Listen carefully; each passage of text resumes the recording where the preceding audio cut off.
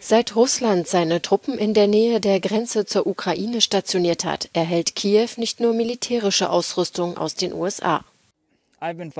Ich verfolge diesen Konflikt seit 2014, als Russland die Krim illegal annektiert hat. Ich habe beobachtet, wie es sich immer mehr in die Angelegenheiten anderer Länder einmischt und seine Finger dort hineinsteckt, wo sie nicht hingehören. Seitdem wird es immer schlimmer. Als ich mitbekommen habe, dass es wieder losgeht, dachte ich mir, ich komme hierher und helfe den Menschen in der Ukraine. Während US-Präsident Joe Biden die Entsendung von fast 3000 Soldaten nach Osteuropa angekündigt hat, ist Justin Dee nicht in offizieller Funktion hier.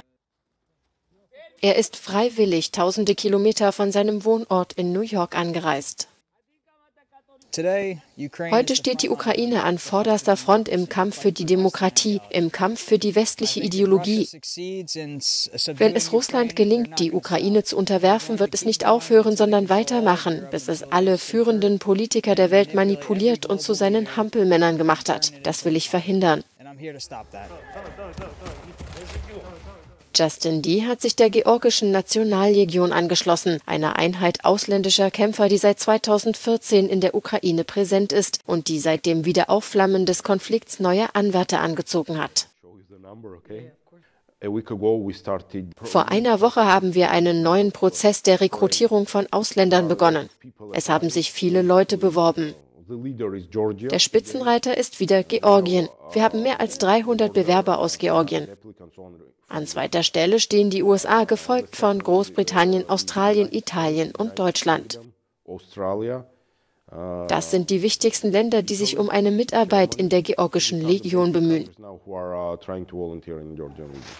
Das ukrainische Verteidigungsministerium äußert sich nicht offiziell zur Zahl der Ausländer, die derzeit in den Streitkräften des Landes dienen. Inoffiziell sagen die Soldaten, dass es im Trend liegt. Trotzdem sind viele froh, dass einige den Schritt wagen, sich den Kämpfern in der Ukraine anzuschließen. Auch Justin Dee erwartet, dass andere seinem Beispiel folgen werden.